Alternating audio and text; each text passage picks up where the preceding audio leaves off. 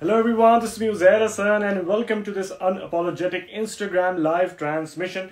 In today's uh, Instagram live, we have invited this phenomenal actor. You might have seen him and definitely आपने इनको different uh, dramas में and uh, कुछ incredible काम जो इन्होंने किया हुआ उसमें देखा होगा.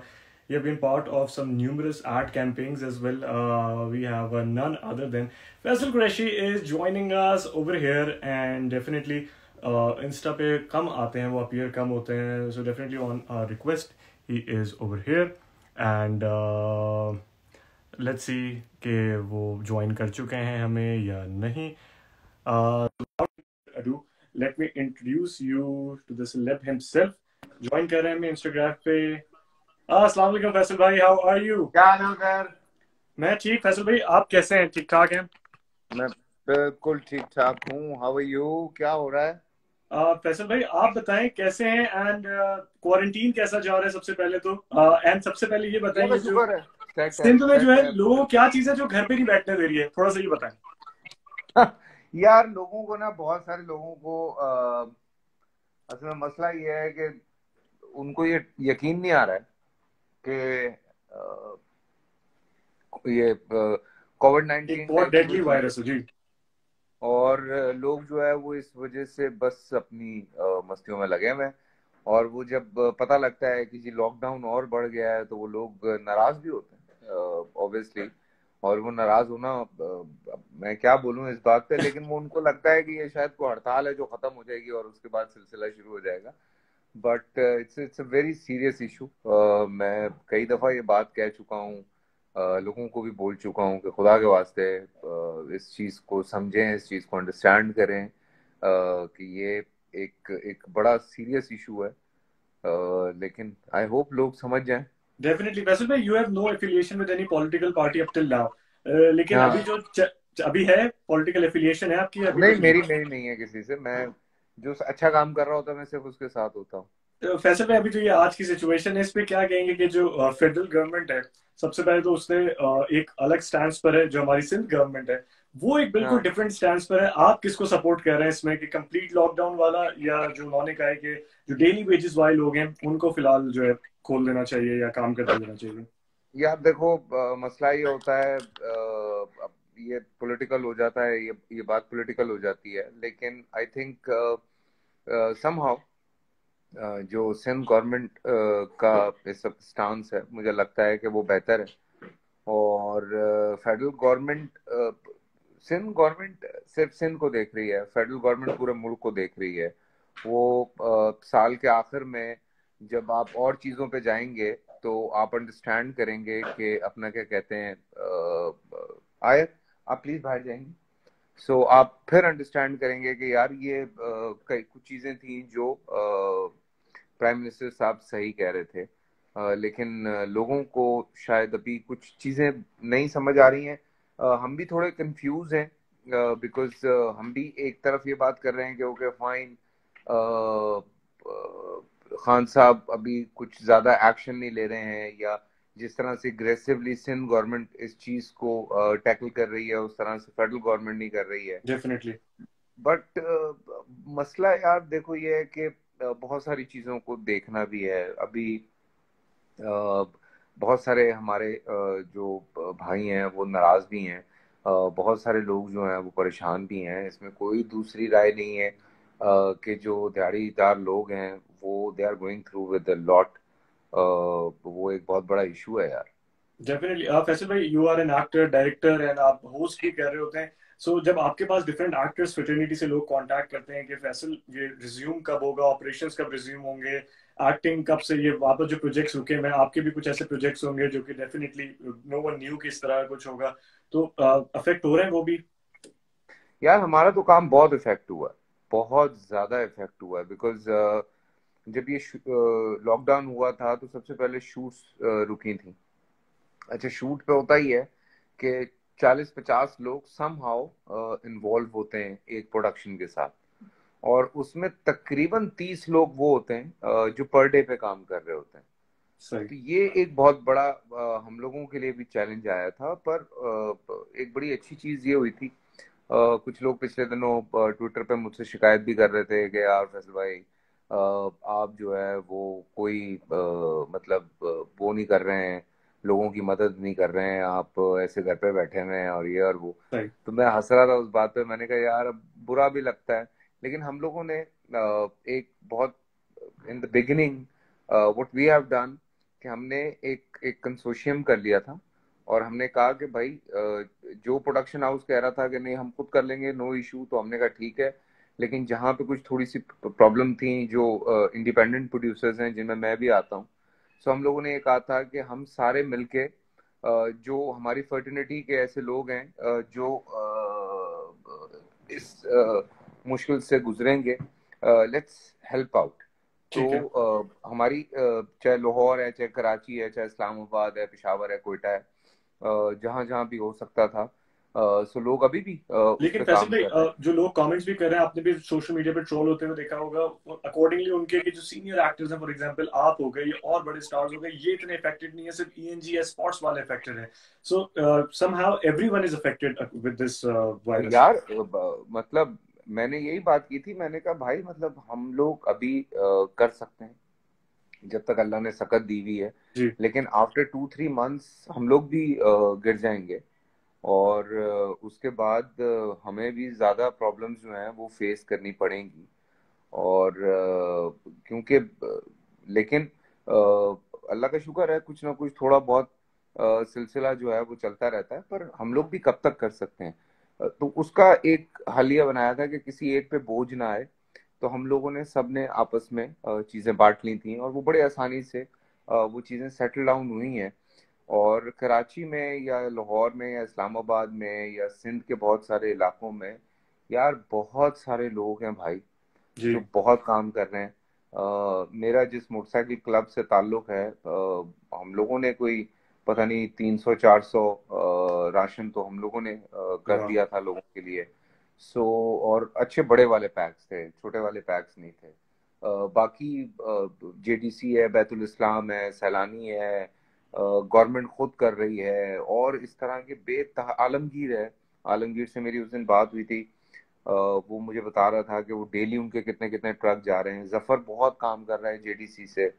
सो यू नो लाइक लोग पागलों की तरह लगे हैं पागलों की तरह रोज़ाना एक पूरा डेटा आता है, उसमें लोगों को खाना पहुँचाया जा रहा है। गवर्नमेंट बारह बारह हज़ार रुपए दे रही है, साथ में राशन भी दे रही है। कुछ लोगों को जल्दी मिल रहा है कुछ लोगों को देर से मिल रहा है। सो थोड़ा सा हाँ ये करना पड़ेगा। लेकिन मैं मज़े की बात तुम्हें एक बताऊँ। एक रऊफ की भी वीडियो आई थी। सो मैं वो बात मैं दोबारा रिपीट नहीं करना चाह रहा था बिकॉज़ उससे मिलता जुलता इंसिडेंट मेरे साथ भी हुआ था।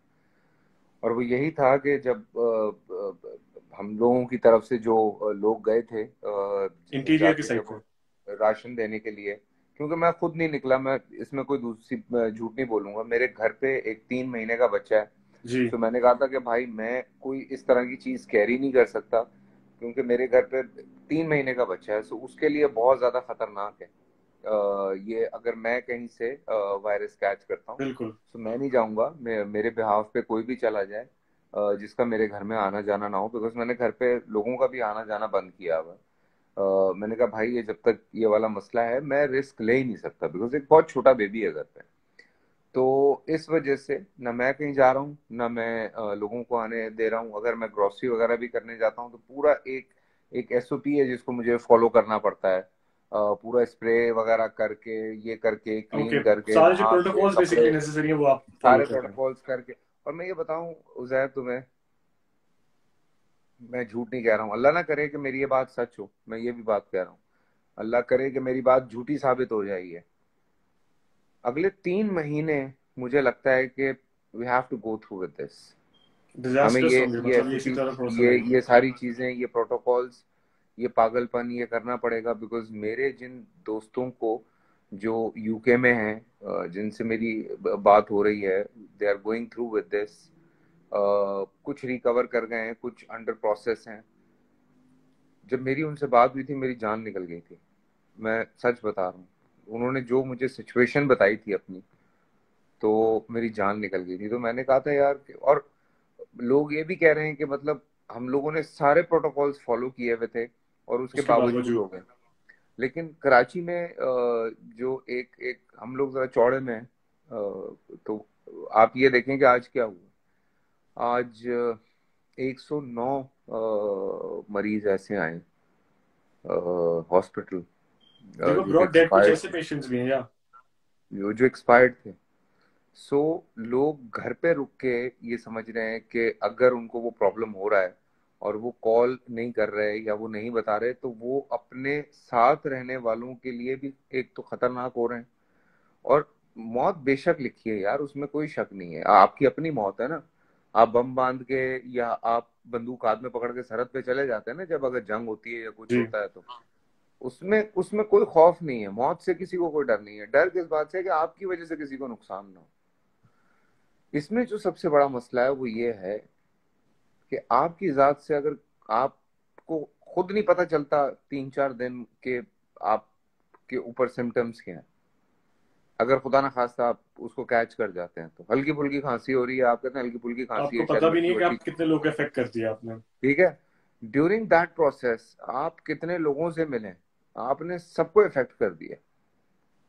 सो so, आपका अपना मरना तो चलो उस पर तो हमारा ईमान है। बींग मुस्लिम हमें तो उस चीज़ से डर है नहीं। लेकिन भैया आपकी वजह से सौ और लोग मरेंगे उसके जिम्मेदार तो फिर आप ही है ना। तो इस चीज़ को अंडरस्टैंड करना है इस चीज़ को समझना है। ये थोड़ा सा सीरियस इशू है। नहीं डेफिनेटली एंड आपने जैसे मेंशन किया कि राशन ड्राइव्स डिफरेंट ऑर्गेनाइजेशंस अभी कर भी रही हैं एंड उनको भी हेल्प चाहिए होती है। एंड राइट नाउ हमने देखा कि डिफरेंट फंड्स भी हुए हैं। तो फैसल भाई अकॉर्डिंग टू यू कोई ऐसी ऑथेंटिसिटी चेक करनी चाहिए before giving donations as well for overseas Pakistani भी हैं? तो वो देख रहे होते हैं कि डिफरेंट ऑर्गेनाइजेशन काम कर रही हैं। इनफैक्ट अब तो प्राइम मिनिस्टर रिलीफ फंड ने भी उन्होंने भी अनाउंस कर दिया सिंध गवर्नमेंट ने अपना फंड किया हुआ मैं मैं तुम्हें एक ना मज़े की बात बताता हूँ। जब ये एकदम से ये सिचुएशन हुई पाकिस्तान में तो ऑब्वियसली एक पैनिक क्रिएट होता है। और सबसे पहला पैनिक हम हमारा भी यही था कि यार ये जो आ, आ, अपना दिहाड़ीदार लोग हैं दिहाड़ीदार ना सही वो जो वाइट कॉलर लोग हैं हमारे मुल्क में तो वो सिस्टम नहीं है कि अच्छा आपकी तनख्वाह जो है वो तीस हज़ार थी तो आपको अगले तीन महीने के तीस हज़ार रुपए हमने आपके अकाउंट में डाल दिए जो यूएस में हो रहा है या एक्स वाई जी कंट्रीज़ में हो रहा है। People are applying for unemployment बिल्कुल। ठीक है ना? हमारे यहाँ तो उल्टा लोगों को निकाल दिया गया जॉब से और बड़े मसले हुए हैं। तो जो व्हाइट कॉलर है वो हम लोग हम लोग एकदम पैनिक कर गए। हमने कहा यार आ, हमारे साथ वाले बहुत सारे लोग हैं जो हमारे साथ इस वक्त हैं और हम देख रहे हैं उनकी सिचुएशन हम अंडरस्टैंड कर रहे हैं उन लोगों को और हम बड़े खामोश लफ्जों से, बड़े तरीके से उनको ये सारा कुछ करने की कोशिश भी कर रहे हैं। लेकिन द पॉइंट है इसके, जब हमें ये पता चला तो हम लोग भी पैनिक हुए, हमने कहा, क्या करें, ये करें? तो कुछ दोस्त थे, उन्होंने कहा कि, भाई रिलैक्स करो। एकदम से ऐसे जज्बाती मत हो। तुम्हारे पास लोगों का डाटा है? हमने कहा, नहीं है। अच्छा तुम्हारे पास कितनी मैन पावर है? मैंने कहा भाई बहुत भी होगी तो दस बारह लोग अरेंज हो जाएँगे एज अ वॉलंटियर करने के लिए. तो अच्छा do you have ambulances do you have cars और फलाना और ये और वो? मैंने कहा इतना इतना ज़्यादा तो नहीं है मतलब कहता कितना कर लोगे? मैंने कहा बहुत भी हुआ हम सौ दो सौ तक कर लेंगे। कहते भाई कराची में दो करोड़ से ज़्यादा की आबादी है। ढाई करोड़ भी कहते हैं लोग दो करोड़ भी कहते हैं।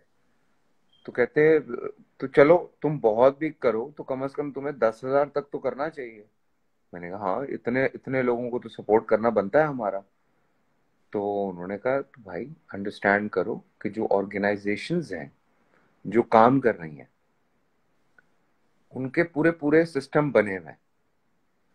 आपने सिर्फ़ उन ऑर्गेनाइजेशंस को सपोर्ट करना है। उन्होंने आगे काम करना है। तो ये एक अच्छा अभी मैं एक शो पे गया था फंड रेजिंग ही थी ये हमारा जो गवर्नमेंट का जो एहसास प्रोग्राम बोल से हमने एक फंड रेजिंग की थी। तो उस पर जब मैं गया था तो वहाँ बैतुल सलाम वालों से मेरी मुलाकात हुई।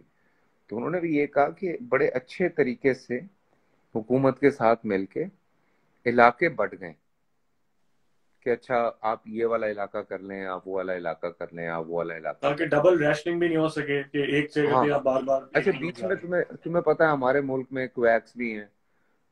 वो भी वीडियोस तुमने देखी होंगी कि लोग ढेर सारा राशन जमा करके लेके जा रहे हैं जाके बेच रहे हैं। चलो भाई वो उनका दीन ईमान है। लेकिन उनके चक्कर में लोगों को राशन पहुंचाना तो नहीं बंद किया जा। सकता ना जो कि एक सच्ची बात है। सो so, फिर हम लोगों ने ये किया कि अच्छा ठीक है तो फिर इस तरह से जो दो चार इस तरह के लोग हैं उन लोगों को थोड़ा बहुत हमने फिर सपोर्ट किया। सो so, वो हमारे लिए भी आसान हो गया था उस तरह से। Because obviously they have manpower volunteers उनके पास हैं गाड़ियाँ हैं पूरा सिस्टम बना हुआ है पूरा डेटा बना हुआ डेफिनेटली पूरा मौजूद है मैं आलमगीर को भी देख रहा हूँ मैं ज़फ़र को भी देख रहा हूँ मैं बैतुल सलाम के लोगों को भी देख रहा हूँ। मैं दावत इस्लामी वालों को भी देख रहा हूँ सलानी वाले हर कोई अपने लिमिटेड कैपेसिटी में काम कर रहा है। लेकिन बहुत काम कर रहे हैं भाई। पूरे पाकिस्तान में बेतहाशा काम कर रहे हैं ये सब लोग। ठीक है। और लाइटर नोट फैसल भाई आपने रिसेंटली यूट्यूब अपना चैनल भी रन कर रहे हैं एंड बहुत. ही। ज़्यादा उसके व्यूअर्स एंड व्यूज़ बहुत ज़्यादा है एंड अभी आपको शायद आइडिया नहीं होगा लेकिन अगले एक महीने में आप काफ़ी यूट्यूब चैनल्स देखेंगे डिफरेंट एक्टर्स का भी। तो जब लोग आपसे पूछ रहे होते हैं रिस्पॉन्स इसका तो क्या बता रहे होते हैं? सीक्रेट छुपा लेते हैं या बता देते हैं कि यार ये वाली चीज़ यार सीक्रेट कोई नहीं है। मैं अव्वल तो अच्छा मेरा कोई मूड नहीं था यूट्यूब चैनल बनाने का।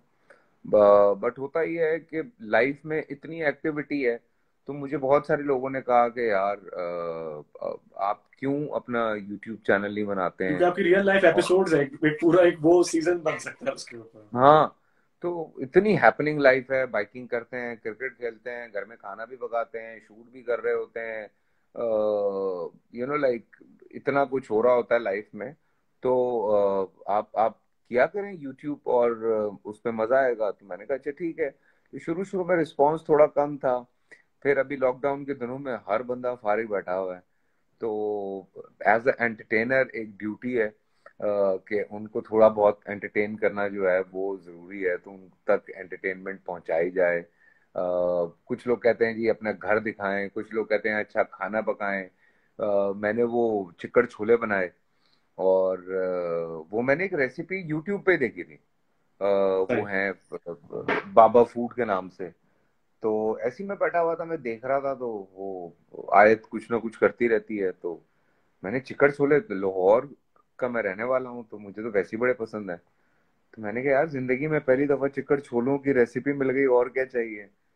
तो मैंने कहा मैं बनाता हूँ। तो मैंने बनाए और बहुत मज़े के बने। फिर मेरी वो पूरी जो जिस तरह से मैंने बनाए थे फिर वो नबील भाई ने मुझसे कहा कि मैं मेनू भी दास दूँ तो मैंने फिर नबील भाई को बताया फिर नबील भाई कर रहे होते यूजुअली लोगों को जब कोई ऐसी चीज़ कर रहे होते हैं फैसल भाई? है? आपको आगे इतने लोगों का आजकल ये ट्रेंड बहुत चल रहा है। कोई एक चीज़ कर रहा होता है चाहे वो डांस मूव हो चाहे वो कोई घर में कोई स्टेप हो जी आपने नॉमिनेट करना है जी पाँच लोग और को अब आपने भी यही चीज़ करनी है। इस तरह की कोई एक्टिविटी इन्वॉल्व हुए सच बताऊँ इतना टाइम ही नहीं बच। एक तो मुझे टीवी देखने का बहुत शौक है। ठीक है? तो मैं तो तुम समझो कि बस पागलों की तरह एक तो सीज़न खत्म करता हूँ रात में बैठ के। वो आदमी जो दस बजे, साढ़े दस बजे सो जाता था, आजकल साढ़े चार बजे तक सुबह जाग रहा है। तो ये एक एक कमाल चीज़ हो गई है।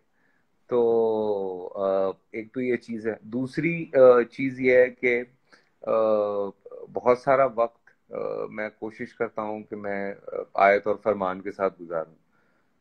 उनके साथ चूँकि मैं जब आयत पैदा हुई थी तो आयत के पैदा होने के बाद से लेके बहुत अरसे तक I was busy like any तो वो जो आयत का वो चाइल्डहुड था मैंने वो, वो फरमान को टेंशन ज़्यादा मिल रही है फिर मतलब जो हाँ, आयत तो वो मैंने नहीं देखा था बिकॉज़ मैं उस वक्त शूट भी कर रहा था शो भी कर रहा था। तो वो नहीं होता कि वो आप दिन में आ गए आप थोड़ी देर मिल लिए फिर आप रात में आए तो वो सो रही है या जाग रही है तो थोड़ा सा प्यार व्यार कर लिया। बट इट्स गुड कि इसके साथ जरा वक्त अच्छा गुजर रहा है। जब से पैदा हुआ है ये मैंने कोई चार से पाँच दिन काम किया है बीच में। और उसके अलावा ये माशाल्लाह इसके साथ दिन गुजर रहा है। खाना पका रहा हूँ। अभी मैंने केक बनाया था। तो कोई चार पाँच तो यानी सीज़न इसके लॉकडाउन के एंड के बाद एक बहुत ज़बरदस्त शेफ बन के भी निकलने वाले हैं फैसल भाई नहीं भाई ये जब तक लॉकडाउन है ये तब तक के मसले हैं। लॉकडाउन के बाद तो टाइम ही नहीं होगा। ज़ाहिर सी बात है। और वैसे भाई दो सीज़न दो सीज़न जो अभी रिसेंटली देखे हो और लोगों को भी बोलेंगे कि देखें। यार मुझे अनऑर्थोडॉक्स बहुत अच्छा लगा। ठीक है। मैंने अभी देखा बहुत ज़बरदस्त था। Is a limited series but I think it's amazing और एक और मैंने कौन सा देखा है अभी? मनी हाइस्ट मनी हाइस्ट आया था। वो देख लिया। वो फिर वो, वो एक जगह पे आके फंसा के चले गए तंग करके चले गए। तो वो है फिर मैंने अभी बिज़नेस नहीं कर रहे ज़्यादा फैसल भाई एज प्रोडक्ट एज आप प्रोडक्शन भी कर रहे होते तो आपको लगता है ऐसा कि अब इन्होंने मनी मेकिंग मनी हाइस्ट लोगों से ही शुरू कर दिया है ये सीज़न रोक रोक के बीच बीच पे? यार देखो ना वो मैं मैं उनकी मेकिंग देख रहा था उजैर और उन्होंने कहा कि उसका जो पहला सीज़न था that was flop in Spain जी वो वहाँ के टीवी स्टेशंस पे चला था और पसंद नहीं किया। कहते वहाँ पे चला और लोगों ने देखा नहीं। लोगों ने कहा "बे यार ये क्या बकवास है? कहते लेकिन जब वो नेटफ्लिक्स पे चला है तो कहते उसके बाद जब हमने दोबारा उसकी शूट रिज्यूम की है तो कहते सड़कों पे लोग दीवानों की तरह हमारे लिए खड़े हुए थे। एंड ये होता है। कई दफ़ा कुछ चीज़ें लोग वहाँ पे अंडरस्टैंड नहीं करते हैं। अलग फोरम पे वो ज़्यादा की ऑडियंस एग्जैक्टली हर हाँ जगह। तो ये है कि ये अभी मैंने वॉकिंग डेड खत्म किया वो तो मेरी ज़िंदगी पे पिछले दस साल से मेरे साथ लगा हुआ है वो। उसके दस सीज़न हो गए मैं दस के दस देख चुका हूँ। So, वो दस साल से देख रहा हूँ मैं। अच्छा वैसे भाई थोड़ा सा एंड की तरफ़ आएँगे। एक जो हेल्थी रूटीन जो आप फॉलो कर रहे हैं so definitely you are going to tell to your fans as well और फॉलोअर्स कि ये चीज़ें कर लें तो थोड़ा सा बच सकते हैं क्योंकि लोग डेफिनेटली लोग मास्क और ग्लव्स पहन के भी अब तो आजकल सेफ़ नहीं है लेकिन कुछ ऐसी हेल्दी टेक्निक्स जो आप फॉलो कर रहे हैं। यार हेल्दी टेक्निक्स कोई नहीं है देखो ब- नहीं बात लोगों को पता है आपके साथ एक एक शख्स आप रखते हैं शूट्स पर भी जो आपकी चाय चीज़ें सब मैनेज कर रहा होता है तो सफ़ाई तो सबसे पहली ज़रूरत जो इस वक्त है वो हम लोग, पूरी दुनिया यही कह रही है द वर्ल्ड इज़ हीलिंग और आप अगर आसमान देखते हैं तो पोल्यूशन कम हो गई है। तो सफ़ाई इस वक्त सबसे ज़्यादा इम्पोर्टेंट है। एक तो सबसे जो पहली चीज़ वो आपकी सफ़ाई। साफ़ रखें क्लीन रखें अपने आप को। वो लोग कह रहे हैं बार बार हाथ धोएँ, इस वजह से क्या हम बहुत सारी जगहों पे हाथ लगाते हैं, मुँह पे हाथ लगाते हैं बार बार मुँह पे हाथ लगाते हैं। वो कंटेजियन मैंने देखी थी अभी कोई दो महीने पहले। उसमें वो केट विंसलेट बताती है कि तीन हज़ार से ज़्यादा हम लोग मुँह को हाथ लगाते हैं एक दिन में। तो वो लड़की रिपीट भी करती है कि थ्री थाउज़ेंड टाइम कहती है हाँ पता नहीं लगता ना कभी आँख खुजा रहे हैं, कभी भवें सही कर रहे हैं, कभी बाल सही कर रहे हैं, कभी मुँह पे कहीं हाथ लगा रहे हैं। सो आपको पता नहीं लगता, आप दिन में तीन हज़ार दफ़ा मुँह को हाथ लगा लेते हैं तो बेहतर है कि आप धोते रहें, हाथ साफ़ रहें। दूसरी बात जो सबसे इम्पोर्टेंट है अपने जो आपका इम्यून सिस्टम है उसको स्ट्रांग रखें अच्छा खाएँ जैसे भी हो सकता है। अजवाइन कोई बहुत महँगी चीज़ नहीं है। अजवाइन खाई जा सकती है थोड़ी सी चुटकी थोड़े से ड्राई फ्रूट खाए जा सकते हैं। वो मेरे पास वीडियो भी आई थी, मैंने वो शेयर भी की थी। कोविड नाइन्टीन का एक पेशेंट था जिसने बताया था कि हमें खाने के लिए ये दिया जा रहा है। अच्छा। सो मैंने इसीलिए शेयर की थी ताकि लोग वो देखें कि वो कह रहे हैं हमें कोई खास दवाई नहीं दे रहे। कोई स्पेशल दवाई नहीं है।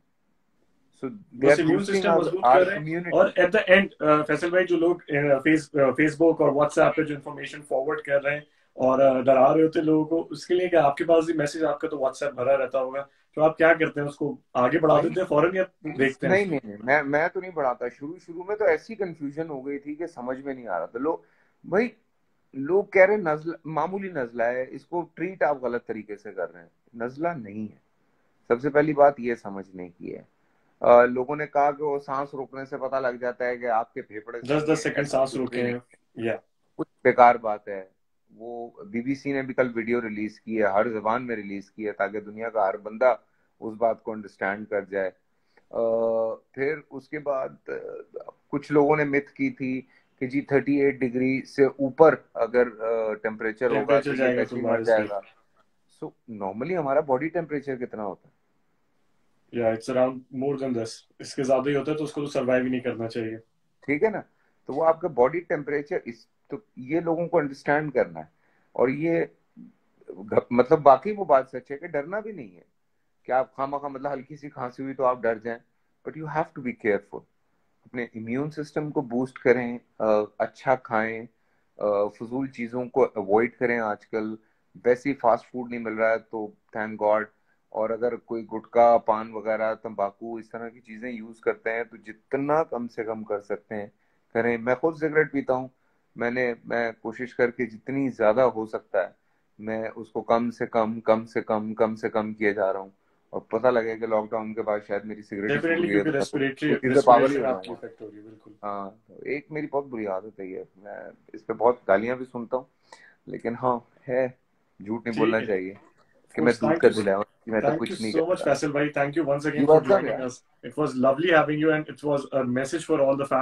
आपको देख रहे हैं एंड हमारे इस प्लेटफॉर्म से एक इंफॉर्मेशन डेफिनेटली फॉरवर्ड हुई है। Thank you once again thank you जान थैंक यू थैंक यू